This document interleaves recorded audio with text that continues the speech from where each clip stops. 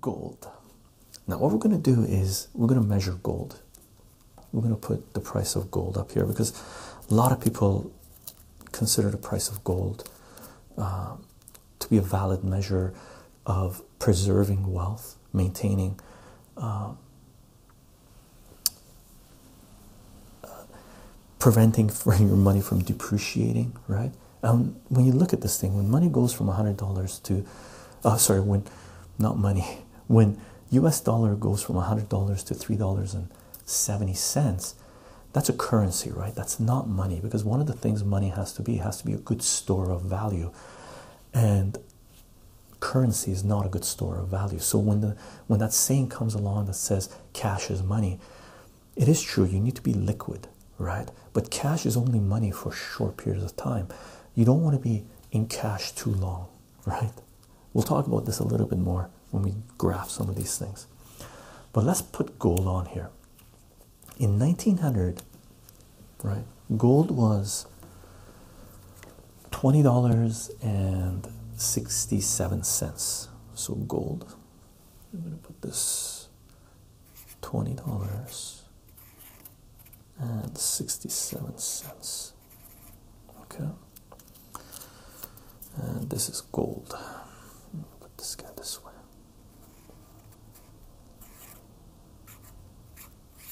Gold. So let's put gold as gold, right? Use the gold marker. So this is gold. So gold was $20.67. And what we're going to do here, we're not going to adjust for inflation. We're not to, because $20.67 in 1900, in 2017 dollars was was $517, right? So $20 was equivalent your purchasing power if you take this into consideration, right? So if you had this money, not money, I keep the wrong using the wrong word, but this currency, if you had your wealth in this, right? And inflation was doing this, right? If we were going to measure how much $20.67 was equivalent to in these dollars, it was worth $517, right? But we're just going to use the value there. This is 10 here, this tick, so 20 is around here, right? So if you put, you know, you bought $20 worth of gold in 1900 and the government didn't confiscate confiscate your gold in this period because the U.S. government there's a, a period in 19 uh, I wrote this down I knew this history before um, oh I wrote it down in the previous iteration I didn't copy it over to this one because I wasn't going to talk about it but there was a certain period a few years here uh, during World War II where the U.S. government confiscated everyone's gold right? And sort of everyone had to take it into the banks and the banks took that gold in at this price. And then a few years later the government raised the price of gold because this was not fluctuating the way or controlled the world. It was completely controlled. It was set. It was set in stone right now it's supposed to be fluctuating based on market principles but it's really not it's sort of controlled as well in a big way but in during the World War II period or build up to World War II, the US government confiscated people's gold and the banks took them in. And a few years later, the banks sold on a higher value, right? So they made pretty good money, pretty good returns considering the amount of time involved, right? So $20, if you put $20.67 of gold in 1900, right now gold is trading at uh, a few days ago, anyway, when I looked this up is trading at $1,230, right? So let's put that on here. Oops, took off the wrong side. $1,230. $1,230. Right? So this is 1,000. This is 1,000. 2,000 is up here because that's 10,000. So 1,230 dollars is like pretty close to 1,000. let's say it's about here. Okay. So right now, if we just think about these as straight lines, this straight line, this was a bad place for you to be in. You would have lost, you lost everything because your purchasing power has also decreased, right? it's, it's a double whammy. Your money, value of your money has decreased, and your purchasing power has decreased. This is supposed to be a measure of this, but it's really not. Okay, so keep this in mind. And gold basically mirrors this, right? To a certain degree.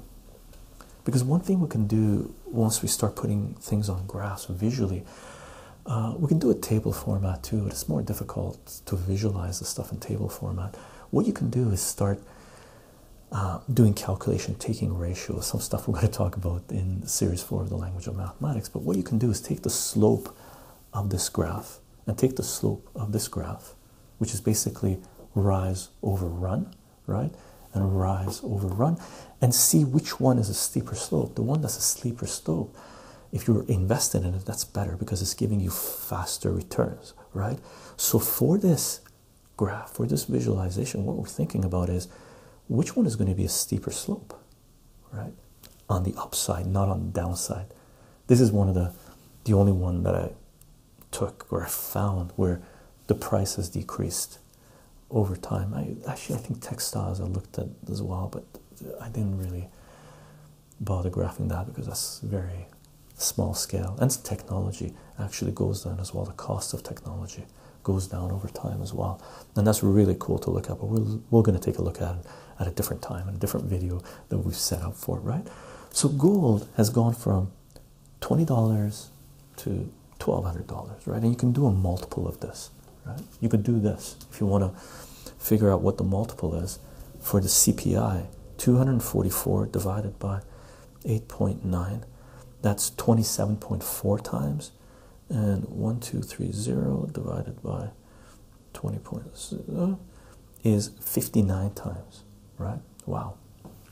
So if this is, let's say this was 30 times, this is 59 let's say 60 times so the slope of this even though that doesn't appear so right now because we're on a log scale right gold has increased twice as fast as the CPI which is a good indication of gold based on government measures based on measures is a good place to store value right is it a good currency? Do people, does everyone trade gold? I don't know how to. Well, I do know. I did geophysics, geology, so I have. I can test test it and figure out if it's gold, if it's malleable, right? If it's not metallic, you can figure out if something is gold. Uh, I know. Uh, I've talked to someone where um, they said some people go to if you want to if you want to find uh, use a method to find gold in places where there might be gold, right? You don't have to go out in the forest into the rivers and start pan pan as panhandling they call it and start digging for gold. Some people take magnets and they go to thrift stores, right? And they take anything that's gold colored and they put a magnet to it. And if it doesn't stick to it, they buy it because gold is not magnetic, it's not ferrous, right? Think ferrous if I remember terminology correctly. Then, if magnet doesn't stick to it, if it's really gold colored, then it might be gold. And that's one of the things you could use to go searching for gold, right? Go look for treasure, right? So gold is a good place to preserve wealth based on CPI numbers. But this double slope really doesn't do anything to help you compensate for the price of uh, price of tuitions going up, stuff like that, right? Now, the next measure we're going to look at, we're going to look at the S&P, S&P 500, the stock market, Wall Street, sort of what we talked about in the previous video, or reading Mr. Armstrong's article, right? So the S&P in 1900, okay, and this is uh, sort of it wasn't called the S&P in 1900 it was called the composite index and the composite index uh, I found only one source which gave me the 1900 number. There's multiple sources I found for the 1920 number and stuff like this. But the 1900 number the S&P 500 if you want to think about it as the S&P 500 was 6.1 6.1 okay so 6.1 is under the 8 somewhere around here. I'm just going to put it far enough down that we can actually see. Here let's move this guy a little bit higher up. Now we're a little bit more accurate i guess and get rid of that 10 value and give this guy room. Okay. So 6.8 or 6.1 is around here. Okay. Just a straight up s&p value is the last time i look is 2459 2000 let's say 2450 right? 2400 oops lock this one up. 2450 2000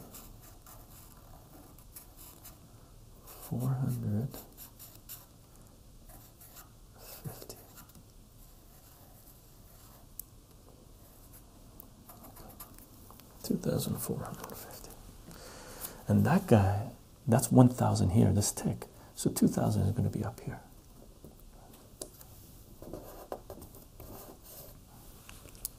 The slope of this is much better than the slope of the other two that's for sure. Let's look at the multiple on this. 2450 divided by 6.1 401 is the multiple. 402 is the multiple right? That's pretty good.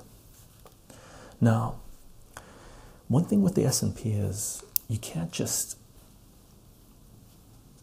well you can. You could buy the s&p and just let it ride right?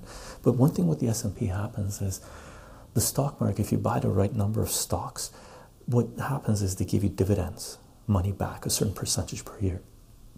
And that's basically the main gist of our current economic system which is just chasing growth. And that's a certain flaw in our economic system as well because everything things don't grow in forever right?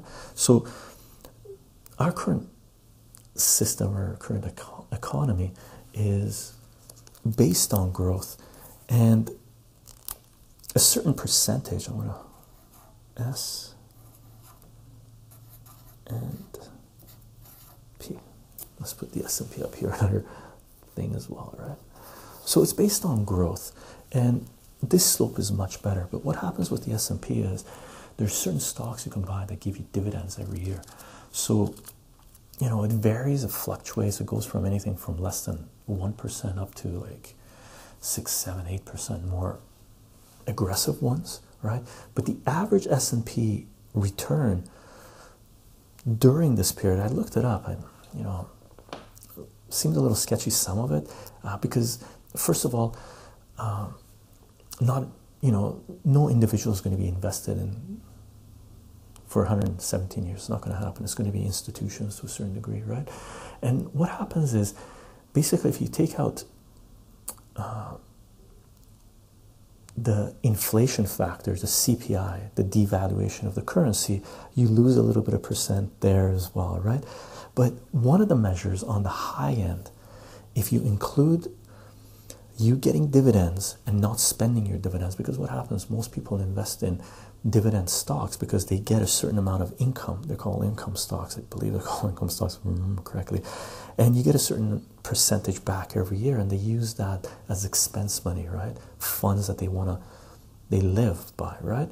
But if you on the extreme end, if you point one dollars, right, in nineteen hundred, in nineteen hundred dollars in the S and P, and took out your dividend, right? You didn't reinvest that dividend. You just went for this growth. This is what you would have, right? But if you took that dividend, all of that dividend being given to you, and put it all back into play, right? And this is the concept of compound growth. The value jumps up a lot, and this is on the extreme side. And I found some numbers, and the calculation I did was um, I basically took it being a seven percent growth, okay? Because average, I believe, the dividend return for the S and P was four percent uh, per year if you average it out for this period, for this period of time. Um, actually, it went for a shorter period of time, so I'm not sure even if dividends existed here. So we're thinking about absolute extreme. Okay, so four percent dividend return. The growth rate was you know two point eight percent. So I took it to be seven percent growth. Right. If you put six point one dollars in 1900 into the S&P at 7% growth for 117 years that's what we're talking about right your return was 16,000 no one would have done this most people I, I know that I've known that play Wall Street, play the stock market, um, they don't reinvest all dividends into the same place, same game. It wouldn't be a smart decision to do, but basically, well, it would be to a certain degree, depending on where you're in uh, at certain points in life, I guess. But 1600 would be here. Okay, oops, squished it. Okay, that would be 1600. So your growth could either be this on the minimum side if you took out all your dividends, or the growth would be this. And that multiple is whew, way more. 16000 divided by 6.1 is 2,622 times return. That's very good. That's very good, right? Now, let's take a look at some other measures. Okay. On the same level, if we take a look at, uh, and I took this and it comes up, um, the reason I took this because this company has is having a huge role to play in our current political and economic system, but basically Renaissance Technologies is a tech company that was started, not a tech company, it was an investment company, uh, hedge fund managers basically, that came about because of the advent of technology, because of the advent of computing, what we talked about in the previous video, right? Really, is, all these videos are sort of connected, right? Which Martin Armstrong talked about, right? Behind the curtain, the full Monty, how automation came into play in our current political economic system.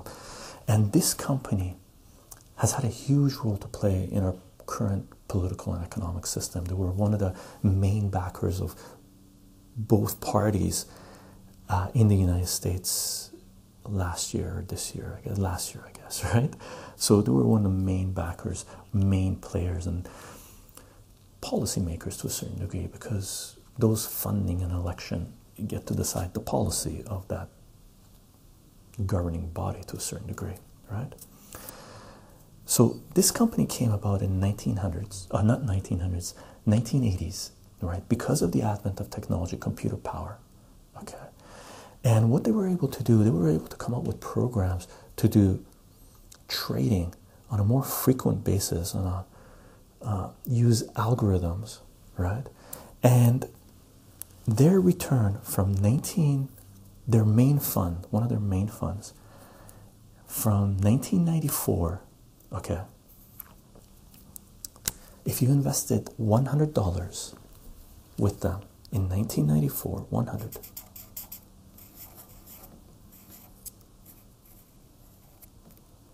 Ninety-four. I'm just gonna put little dash 94. Is that gonna show up? I don't know if it's gonna show up for you guys.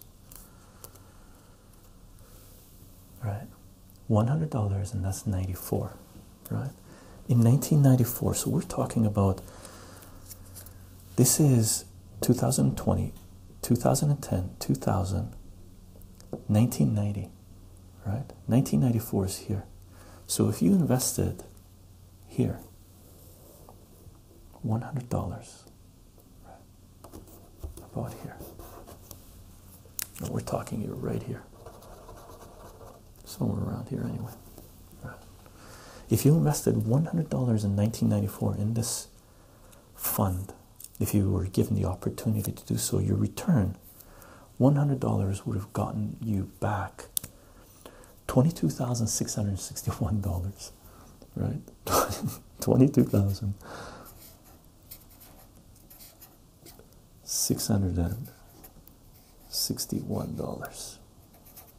Okay. Twenty-two thousand. That's oh, 16,000 is not up here. My apologies, gang. If this is 10,000, that's 20,000, right? So 16 is here. My bad. Somewhere around here, anyway, right? So $22,661 is higher than this. So that's 10,000, 20,000 comes up here, right? So take a look at this. The slope of this dwarfs like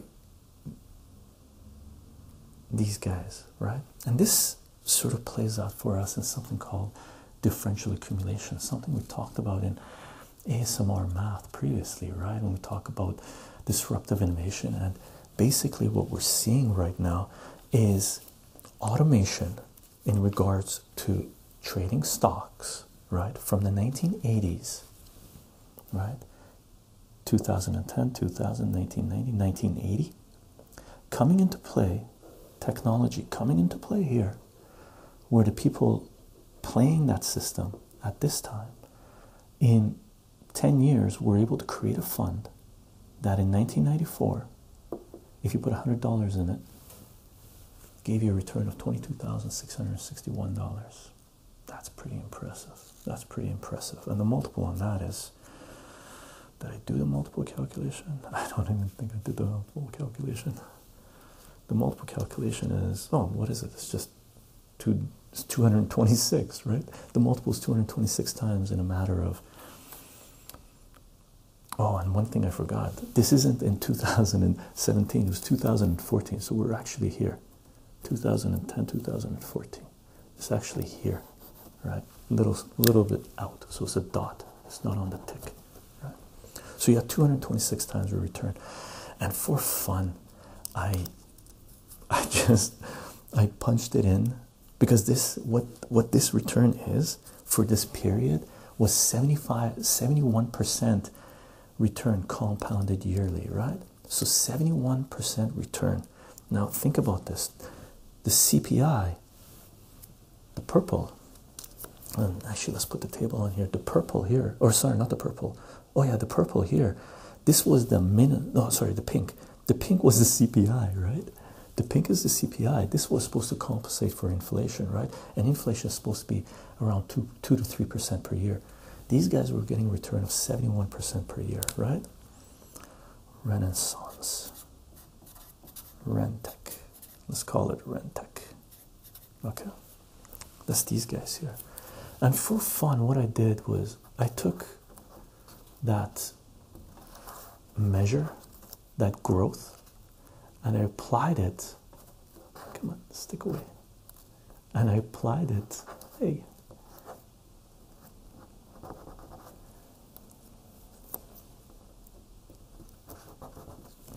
I applied it from 1900. And I took, we did the thing here. I took $100 and I did it from 1920. I didn't even do it from 1900. I did it from 1920 because initially I was just going to do things from 1920 your return was to if you put $100 in 1920 which is 1910 1920 we're not going to write the numbers because it doesn't make sense if you put the number here $100 1920 right your return was 2 times 10 to the 23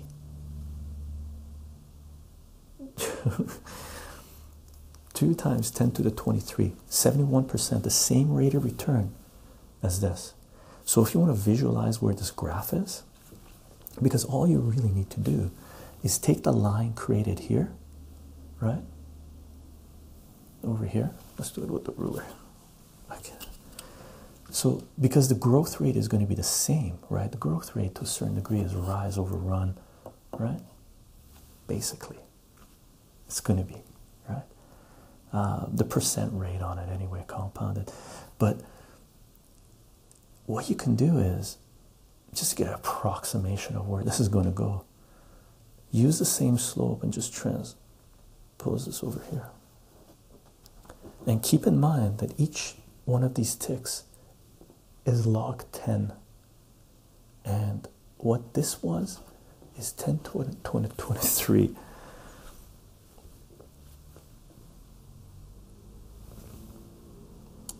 You could buy the world, maybe. I don't know. It's past trillions, right? I should have actually figured out what that word is to describe 2 times 10 to the 23. Now, going back to more realistic, or not realistic, this is realistic, right? This company, the same company had, and this was private fund, by the way. Uh, you only had, you could only have connections to be able to buy in that fund, or a lot of wealth to be able to buy in that fund. It wasn't open to the public.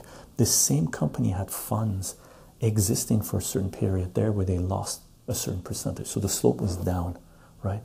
Those were the public funds that you can invest in. The private ones, slopes were like this, the two I looked at. And the public ones, there was only two public ones they had, or one public one. That one public one was a declining investment, not a good investment, right? Take that however way you want. Okay. Now what we're going to do is take a look at another place where you could have stored your wealth in a big way, in a big way. Okay. And that's in art, right? Because art has been one of the greatest investments you could have made over time. Okay. And that investment we're going to talk about something that's dear to my heart if you're watching watching these videos. We're going to take probably the most important comic book on the market since we're doing we've reached a level where we're talking about extremes right? As soon as we hit this, we've hit extremes, returns, right? So let's do something that's compatible to this. Art is one of the best places you could invest in. Paintings, well known painters, their prices, they're astronomical. I don't follow that market, but I do follow the comic book market, right? So if you bought Action Comics number one, the first appearance of Superman, I'm just going to put Superman here. Superman but it's Action Comics number one. Oh, I gotta write this the other way. Really, it's not Superman. Action Comics. But I'm gonna call it Superman so we know what it is. Superman.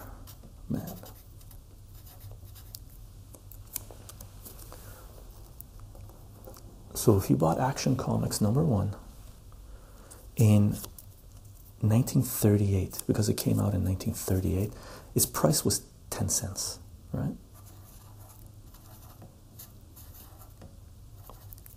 His price was 10 cents. So 19 and it's 1938. So let me put this here too. Let's do that. Let's make enough room for it. 10 cents. 1938. Okay. So that's 1910, 1920, 1930, 1938 is here. So let's see 10, 20, 30. So we're here. 1930, and you bought it at 10 cents. So you basically, you, I should have had another scale here. My bad, right? I totally forgot about that, right? Because one, then 10 cents would be here, right? So let's not make it 10 cents.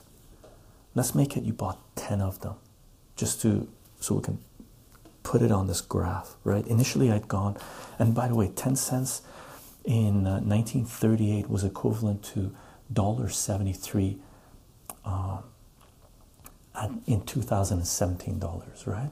So 10 cents was $1.73 in 2017 dollars. So even the price, price of comic books hasn't stayed up with, you know, surpassed the CPI measure, right? If comic books had only stuck with CPI, took the rate of inflation into consideration, we should have been able to buy comic books at $1.73 in our stores right now. But comic books cost $5 right now. Three, well, anywhere between three to five dollars right now, your basic comic book, right? So that's gone up huge as well. That hasn't, that's sort of showing you where the CPI really doesn't take into consideration certain things. So instead of buying one Action Comics number one. Let's say we bought 10, so that makes it a dollar, right? So let's say it's one dollar. 1938 and we're sitting right here okay 1910 1920 1930 1940 so we're sitting right around here so that's action comics number one. Okay. Since i only did the calculation for one of them i'm to have to multiply this. But basically what happened in 2014 and 2016 i believe as well action comics number one uh, the higher grade ones uh, which is grade 9 9 means it's very fine near mint right? Near mint minus like that's it's in good quality it's in good shape sold for 3.2 million dollars right? So 10 cents if you bought it and if you kept it in good shape would have returned 3.2 million dollars right? One dollar you know 10 of those if you assumed it was going to keep the same value okay? Because if you had if you had 10 then it wasn't as rare as now right? Because i don't i believe it's less than 10 that are uh, graded at uh, 9.0 right? I think there's only four or five of those around. But i actually live in a city right now victoria. I talked to a comic book store owner that told me that he actually personally knows five people that have action comics number one in their possession. Lower grades. I don't know what the grades are. We didn't talk about it but i'm assuming it's lower grades as well. But supposedly there's five of them in my city alone. That's one reason I moved to this city as well. It's got a huge comic book history to it. Uh, a lot of comic book people here. Okay, but 10 cents would have got you 3.2 million, so 10 of them would have got you 32 million. Pretty sweet. If the value kept the same. And just to give you um, a comparison of five, a 5.5 um, Action Comics number one sold for about a million dollars. So the different the different price between the nine and the five point five was two million dollars, three times, right? But basically, one dollar investment in Action Comics number one in 1938 would have got you 32 million dollars. Hmm, how am I going to put this on here? That works. Okay. $32 million. Wow.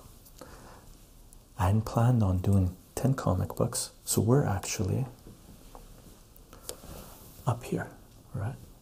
We're above scale. So we're gonna what I'm gonna do is I'm gonna extend this. Oops.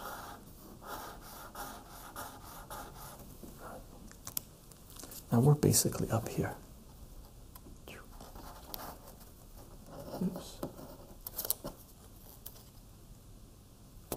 If it kept, kept the same value, right?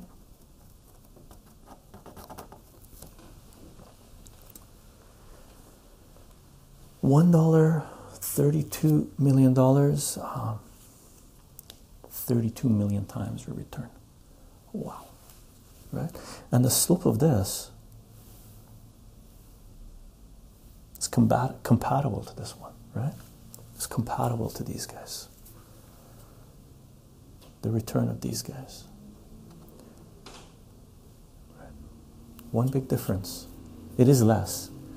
These guys were able to get that kind of return in a short period of time, right? Now, let's kick it down a notch and take a look at uh, the wages that we earn. How have wages varied over time? Okay, now, in 1900, in 1938, I did it for 1938 because um, we had data available for that. I also looked at salaries. So let's talk about salaries. In 1938, basically, hourly wage was uh, 25 cents an hour. Okay, so if that's a dollar, so we're back down here again below this. So we're not going to look at hourly wages, but just to give you a heads up, an hour your the minimum wage was 25 cents an hour and right now the minimum wage is minimum uh, wage is 7.2 um, dollars an hour okay? In 1968 the minimum wage was 1.6 dollars so 1960 so if we're talking about i should make the ticks here. What are we at? That's 1940 1950 1960 that's 1970 1970 the minimum wage was a dollar something dollar 60 and right now it's at 7.5 the 7.7.2 so if we do the minimum wage right? Min wage. Min wage. Let's throw this on here for for the fun of it. So minimum wage is this guy here the orange. Okay. Minimum wage was a dollar 60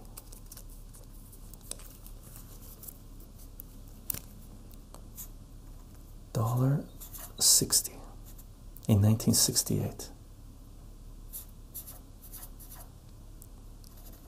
okay. Dollar 60 in 1968 1940 50 60 70 so dollar 60 is like here. And minimum wage right now is 725 725 okay. And that puts you about here. If you're doing minimum wage you're out of the game right? Because one thing you have to consider is you look at these guys right? This was the S&P okay? This was gold right?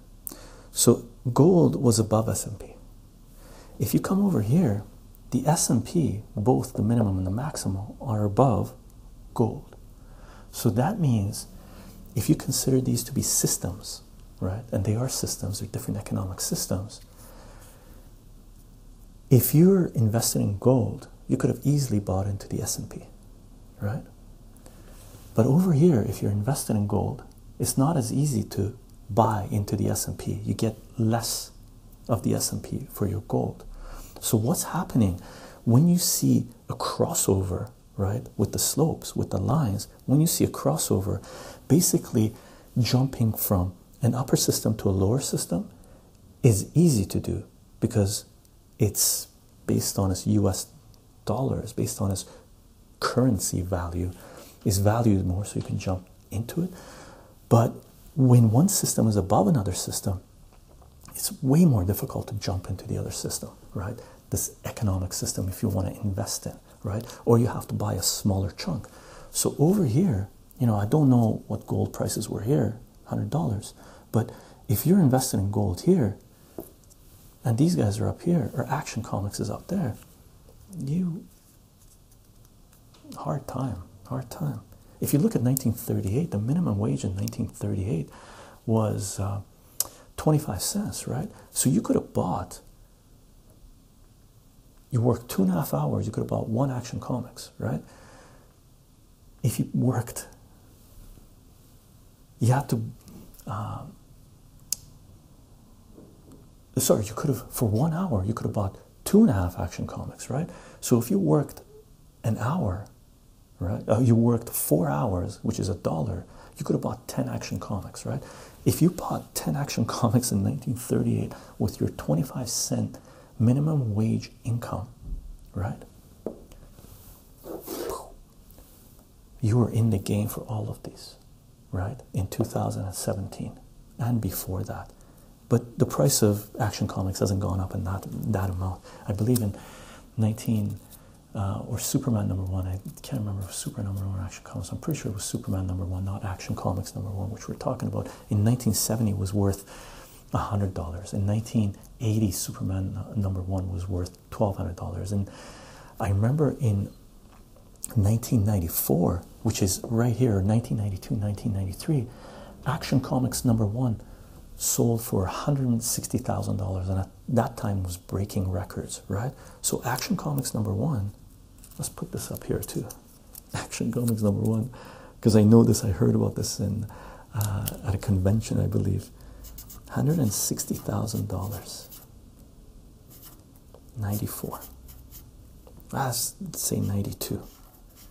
I think it was 92. Okay. And let's put the So 1992 cost you $160,000, 10,000. I forgot to put a little tick on the 100,000 here. So 1992, which is about the same as 1994, this thing costs you this much $160,000, right? Not $200,000. $200,000 would be up there a little bit more. $160,000. Oops, 94 is going to be further over, isn't it? It's going to be here. Hopefully, I'm doing this right. Maybe. So it was like here, right?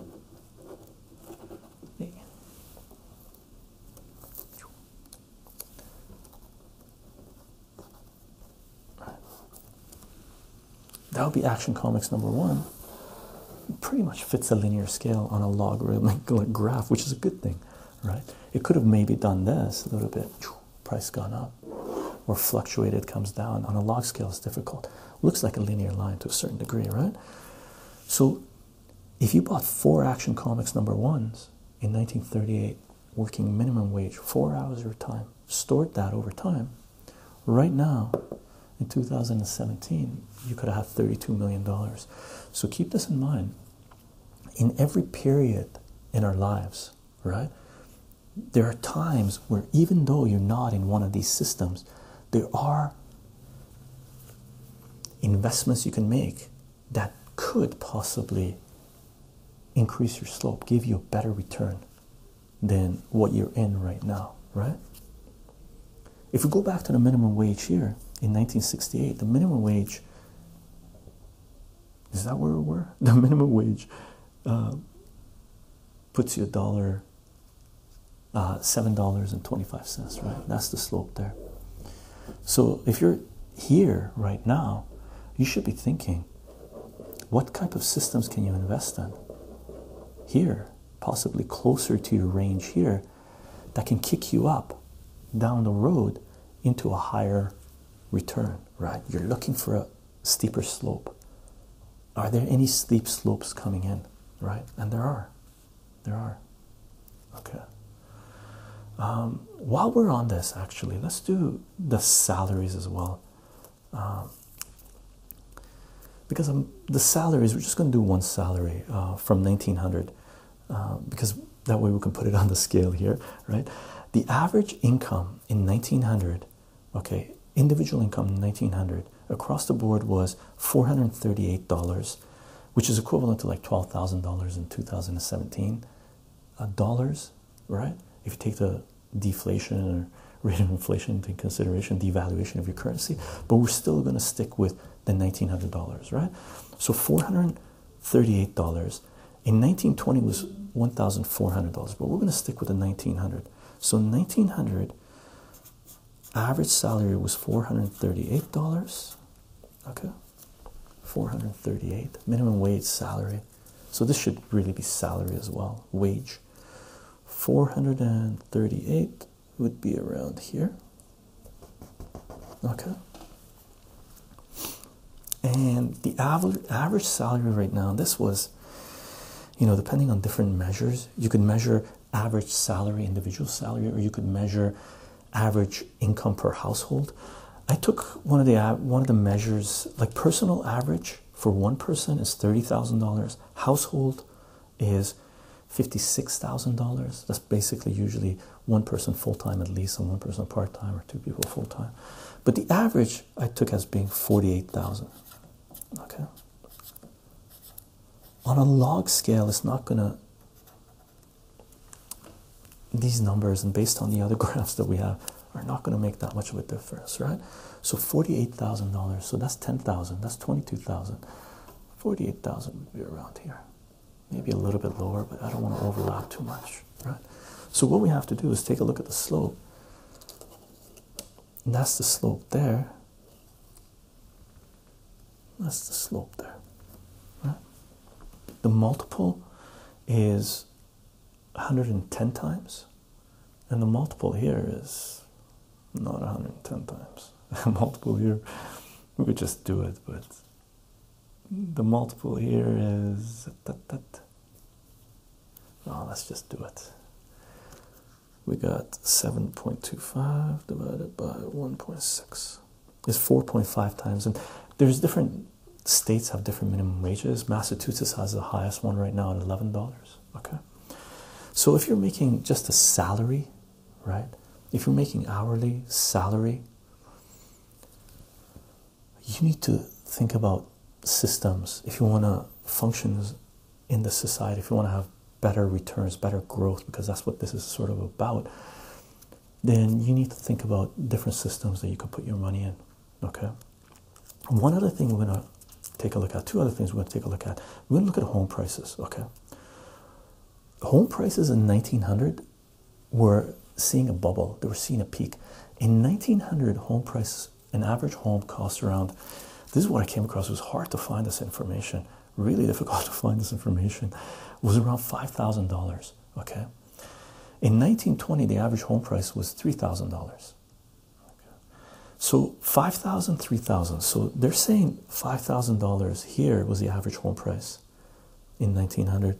And in 1920, which is this tick here, is around 3,000. So around here. So what I'm going to do, I'm going to take the average. I'm going to make it $4,000. Home. Let's make this home. House. Not home, but house. Okay. So light green is house. And let's put the average price in 1900 4000 and keep in mind you know what type of houses you were getting at that period. Keep in mind that most places didn't have electricity right? 4000 will be around here right? So those are houses. I have brought other tape. Oh I do have other tape. Let's tape these down that way they're not sticking up.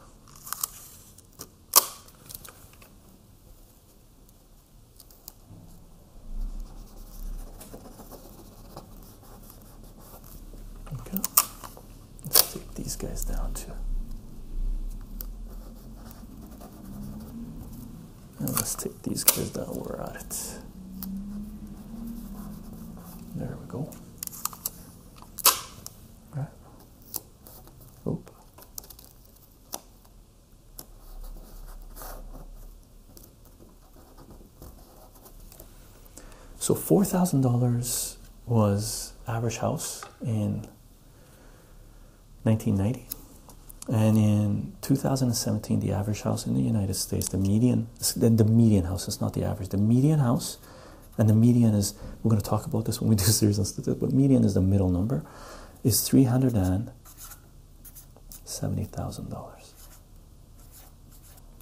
$307,000. That was the median. So 300 so no, I put in too many zeros in this one. Silly me. That's a million. We got. Let's make this one, and that should be a hundred thousand dollars, right? of all the places to make little mistakes, right? So that's a hundred thousand dollars. So it's going to be three hundred and seven thousand dollars, which is going to be somewhere around here, right? That's what a house is, and that's the slope there, right? And the multiple on that thing is going to be three hundred and seven divided by four thousand is 76 times your return, right? Gold was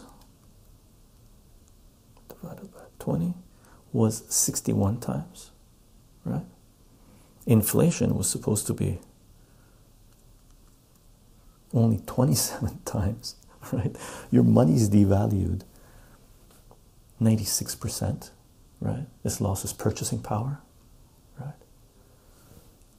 What's this guy? That's the minimum wage. Your wage has only gone up. Was it 100 times?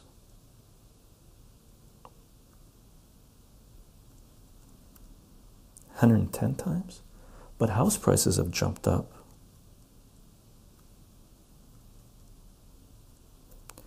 76 times. Not bad, considering your wages, I guess. You have to work 10 years to buy a house here. Well, less than 10 years. It's about the same. Okay, but there's a big difference in in living expenses, right? Your purchasing power, your cost of living, interest rates. Actually, interest rates are pretty low right now, very nicely low. Okay, now we're going to look at one more thing, one more measure, and that's something that's playing out right now. It's coming to play because of the same reason that these guys were in play, right?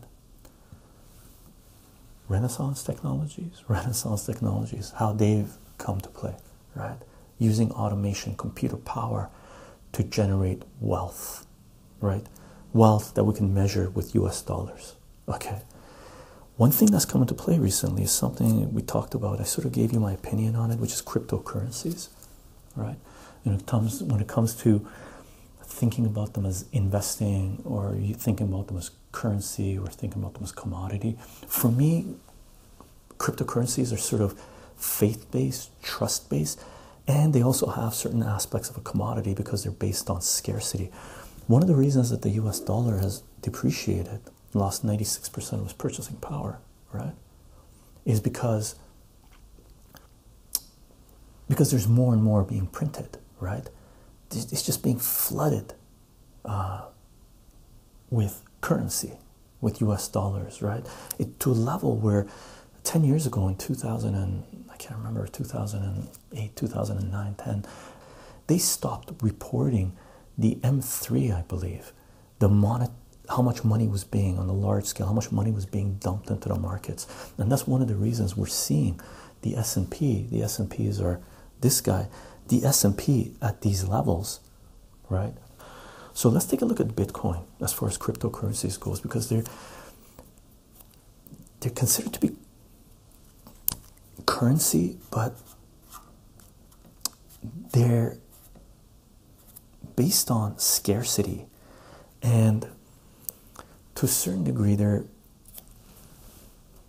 the hurdles that Bitcoin faces or cryptocurrencies face that are based on scarcity is to get them into circulation to increase their velocity. Okay. And once they increase their velocity, then uh, what happens? They start changing hands more often. But since they're based on scarcity, most or a lot of people might be holding on to them, expecting for the value to go up because it's based on scarcity, right? Um, I gave you my opinion regarding cryptocurrencies, and right now I'm not holding any cryptocurrencies as of mid July. Okay, um, and if you want to know my opinion regarding cryptocurrencies further, uh, that video is the place to be. And again, please keep this in mind. This is not financial advice. Okay, so cryptocurrencies, the history of Bitcoin is this. Well, you can take a look at the history, but the price of Bitcoin is this. Okay, in I believe in 2008 or so, 2000 and 2009 or so, someone tried to sell a thousand or ten thousand bitcoins for thirty dollars, and there was no takers. Okay, so it was very hard to get rid of your currency. It wasn't very liquid, right? Um,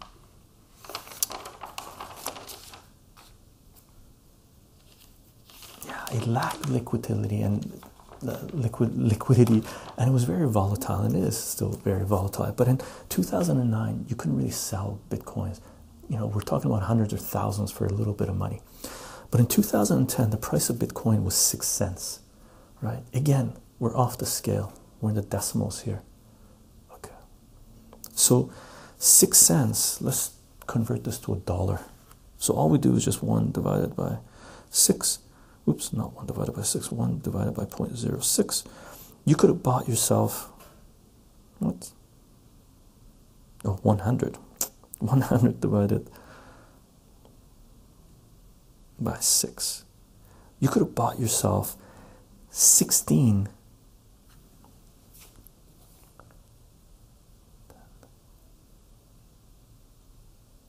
yeah you could have bought yourself. I'm just checking, making sure because in uh, uh, 2017 dollars, six cents was only seven cents, but that doesn't really make a difference. So you could have bought yourself 16 bitcoins, right? So let's make this leave this as a dollar. We got the Bitcoin up there, so one dollar, one dollar in 2010. Let's put that here. One dollar in 2010. So that's 2020, 2010 is right here. That's 2000. So 2010 right here. That's really when the game began for Bitcoin. Okay. And Bitcoin right now, the last I checked, its price was around 20 2600 so if you bought 16 of them times 2600 oops 16 times 2600 is $41,600 41,000 $41,600 $41,600. Make sure I got all this correct. I don't want to give you guys the wrong data. 41,600. Okay, so we're here. Bitcoin 48,000, 41,600. So we're here somewhere. Okay. In 2017. I'm going to put it a little bit off. Uh, no, let's put it on the line. Okay. Now, the slope of this is much steeper than the slope of this, right? Much steeper. How much steeper? You could take the slopes, you could take the slopes, but I'm not really going to get into that game right now. Basically, the the multiple from these guys, Renaissance, was Renaissance was 260, 230, let's say. The multiple of Bitcoin is 41600 divided by 1. 40, the multiple of Bitcoin is 41,000, right? this is what happens when you use trusted calculators. You refer to them for the most simple calculations, right? So this was 230, and this slope is 41,000. This is blowing away anything else. Really? Okay. Superman was pretty good. Superman is really good, right? Superman's fantastic. Oh, did I divide by 10 on this one? No, it was a multiple, it was one dollar. One dollar of this, yeah. Same deal to a certain degree. Okay, so this is something you have to really keep in mind um, when it comes to economic systems at play, and uh, you know this ties into to what we are talking about in series four of the language of mathematics when we're talking about jumping from one system to another system because this is what we really have to keep in mind when we're thinking about personal finances is different economic games at play, right? And we just talked about two, four, six, eight, nine of them. Only nine, right? There are multiple other things you can invest your time and energy and your your funds in right. There's different types of. If you're thinking about buying a home, there's real estate. There's different types of real estate you could buy. There are different types of cryptocurrencies you could buy. There are different types of funds. There are different types of comic books, right? This is one of the best returns. But there are other comic books that have given you phenomenal return in shorter periods of time as well, right? Walking Dead, Har- Walking Dead number one, Harbinger number one, right? Um, first appearance of Venom, Venom, right? First full appearance of an Amazing uh, Spider-Man 300, right? Not phenomenal return like this one or Walking Dead return, but there are other returns. Saga number one, those are shorter periods of time. Those are in this time frame we're talking about here, right? You know, a few dollars investments gets you a few hundred or a few thousand, right? So if you're, you know, think about it. Which system are you functioning in? If you're system and functioning in a lower down system where your returns aren't as much as you'd like, then you can take a look at these systems, see if they're models are valid, if you plan on saving to jump into those systems, or if you're in this system, there are lower down systems that are coming into play which are going to surpass your growth rate, your you know, over time will preserve your wealth or increase your wealth a lot uh, better rate than the system you might be invested in. Okay, and again, keep in mind that this isn't um, this isn't financial advice. This is just quantifying the different economic systems we have at play and um, taking a look at how they vary because when it comes to personal finance, when it comes to wealth, we're thinking about growth, but this is only the things that seem tangible to us right now. There are non tangible to a certain degree, things that we haven't quantified that are worth a lot, worth more than this, give you returns much more than this, right? There are different types of currencies at play. This is the US dollar, there are local currencies at play, right? When when certain economies to a certain degree go under stress, all of a sudden disruptive innovation comes into play and new opportunities arise, right? Greece being one of them during the financial uh, crisis for Greece, where basically, if you look at government statistics, they give you unemployment rates that are huge, they give you GDP that is very low, all this stuff happening. But GDP is a measure of what the government is keeping track of or can keep track of and the taxes that, that they're collecting. So GDP, I know I'm going off a little bit here, but we are going to touch up on, on this stuff. But I want to really emphasize the point.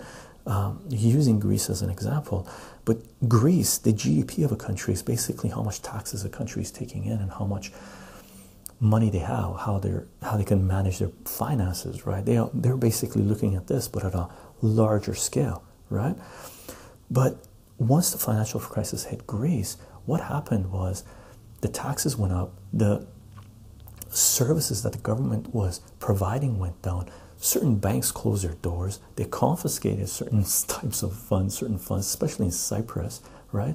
All of a sudden, people had to scramble and had to uh, adjust to the system. And they basically came up with disruptive innovation. And in Greece, there were basically barter systems put in place where uh, people were doing trade on a personal level, right? They weren't trading everything into a currency and then using the currency as the exchange of medium, right? The what they used to be able to trade between each other, they just bypassed the currency and did straight trades. And websites came into play and different types of technology came into play where people could go on there and offer certain goods or services and exchange those for other goods and services, right?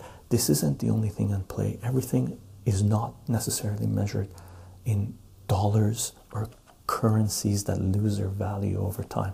But since most of us are forced into the system, we really have to think about other systems that have more potential, more growth, okay, that will either preserve our wealth and um, or give us a certain type of growth, whatever type of growth we're thinking about. And one of the most important things we have to keep in mind, we talked about at the beginning of this video, is make sure you diversify. Do not, do not be in one system. Because if things go wrong, some of these things may do a about turn and start having a negative return, right?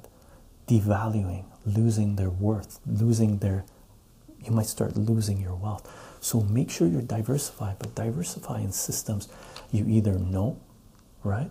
Or systems where you can get the information and spend the time required to understand how the systems operate, or hire someone to give you financial advice regarding whatever it is that you're planning on investing your time and energy on, right?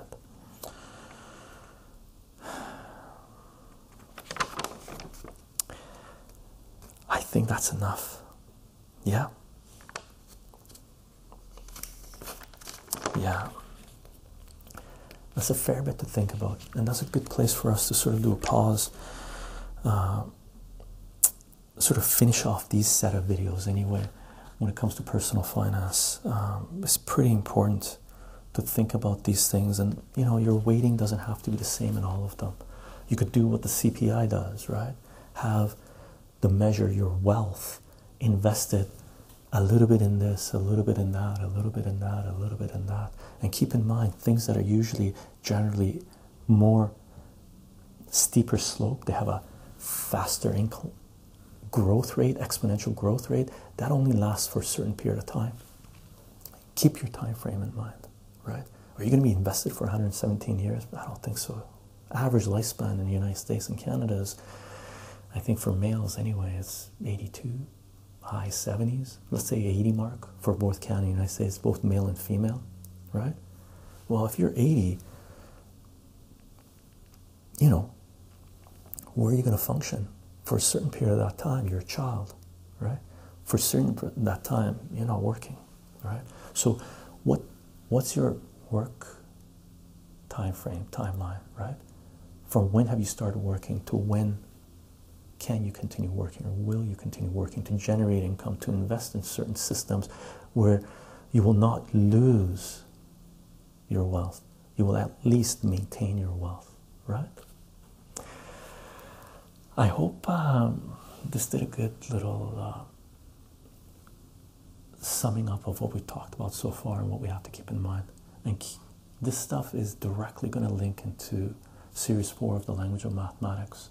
And we're going to talk a lot more about this and delve down into some of these systems. One of the ones we're going to delve, and give you a little heads up. One of the ones we're going to delve into at some point is comic books and I've laid out some uh, videos, a set of videos I'd like to do on that, and basically quantify investing in comic books a little bit more than the way they've been quantified right now because it's very subjective of what a worth of a comic book is. If you're in the industry, if you know, if you know what I'm talking about, uh, the grading system is is one way people are going with slabbing comics and stuff like this. But I like to take a look at the numbers and quantify some of those numbers, and I've done some research into it, and I've picked, put together some data, some tables, and uh, at some point we will be um, talking about this a lot more. Okay, um, I guess that's about it. I hope you enjoyed this set of videos. It was fun to create. Uh, it took a little bit of time. Um, sorry for the slow progression of these uh, of these videos, but uh, I really lost myself in the data and really enjoyed looking at the stuff and trying to figure out a way of what a good way is to present this information. Okay, that's it for now. I'll see you guys in the next video.